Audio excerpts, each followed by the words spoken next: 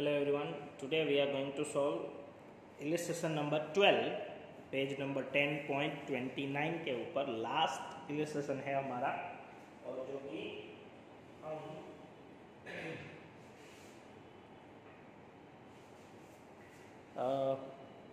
पेटी cash book हमने सीखा था लास्ट टाइम अलग फॉर्मेट मतलब कैश बुक के जैसा फॉर्मेट था। इस टाइम पे एनालिटिकल कैश बुक हम कर रहे हैं जो कि अलग फॉर्मेट है अगेन और वो फॉर्मेट आपको एग्ज़ाम में आएगा पेटी कैश बुक का. तो पेटी कैश बुक में मैं ये यहाँ, अभी आपको फॉर्मेट ड्रॉ करके देता हूँ. यहाँ पे हम सब करते वक्त फॉर्मेट बनाते जाएँगे, क्योंकि हमें पता नहीं है कितनी कॉलम रखनी ये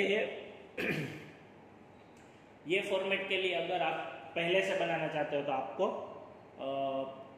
पूरा सम रीड करना पड़ेगा। अदरवाइज़ आप सीधा इतना करके साथ में ड्रॉ करते जाते तो भी चलेगा। ड्रॉ करते जाओ तो भी चलेगा। तो ये अभी हम सम रीड करेंगे और साथ में ड्रॉ करते जाएँगे। सम सोल्व करते हो। एक रिसिप्ट फिर डेट वाउचर नंबर पर्टिकुलर जो लास्ट टाइम हमने कॉलम बनाई थी वैसे ही है लेकिन अब आपको जितनी कॉलम यहाँ पे कितनी कॉलम फिक्स है receipt voucher number date voucher number particular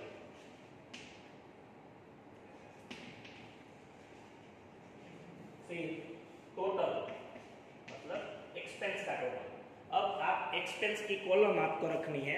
last time हमने जो सीखा था वो आ, एक टाइप की आ, यही बैलेंस यही फॉर्मेट था लेकिन इसमें एक ही कॉलम आती थी पेमेंट की.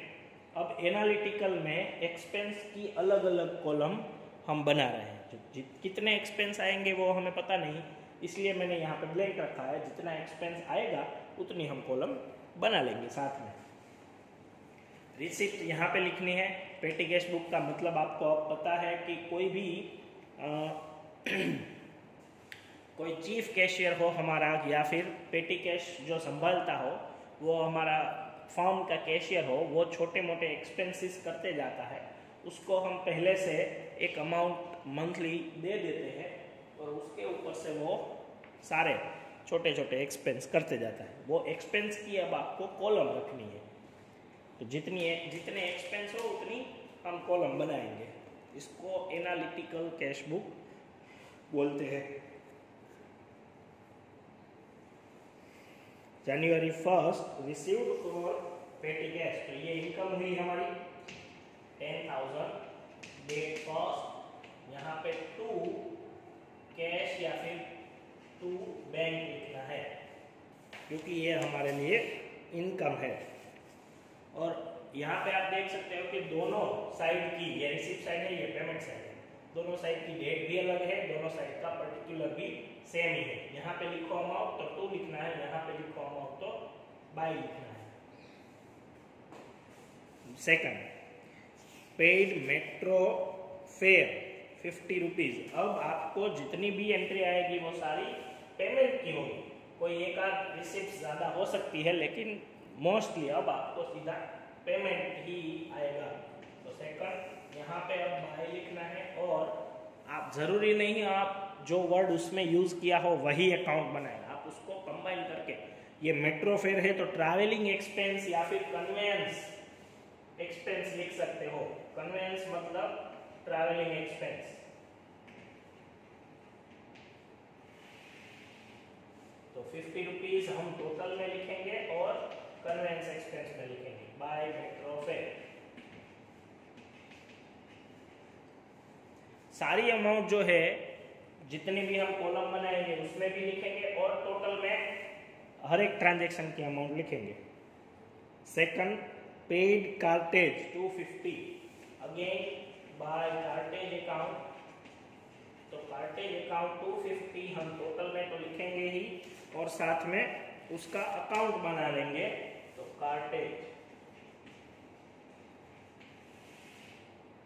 250 ओके मैंने इसलिए ब्लैंक रखा था कि जो भी एक्सपेंस आए, वो एक्सपेंस हम बाजू में लिखते जाएँगे। Third paid for postage 50 paying for postage by postage account five hundred तो यहाँ पे भी लिखेंगे और यहाँ पे भी लिखेंगे postage five hundred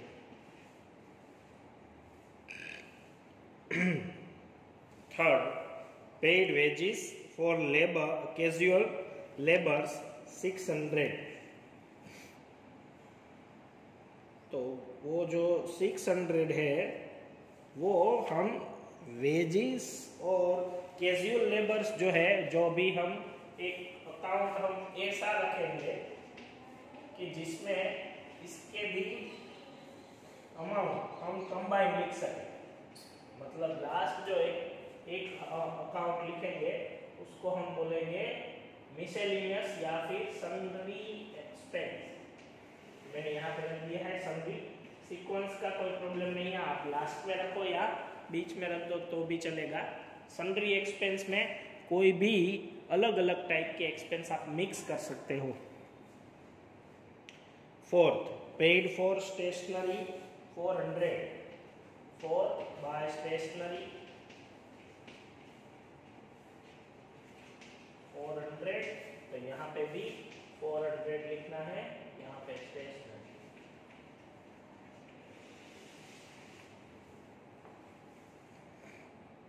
again four paid auto charges two hundred again four by auto charges 200 तो अब इसको हम अगेन कन्वेंस में लिखेंगे ट्रैवलिंग एक्सपेंस जो है हमारा, उसमें सारे एस ए टाइप के एक्सपेंस आ जाएँगे। Fifth paid for repair of chairs fifth by repair account तो रिपेयर्स 1500 है तो रिपेयर्स का अकाउंट हम अलग बना लेंगे repairs 1500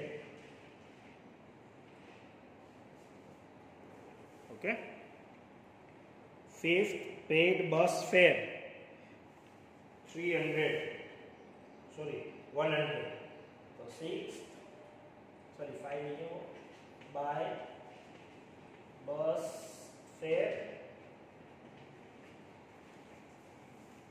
उसमें हम 100 लिखेंगे।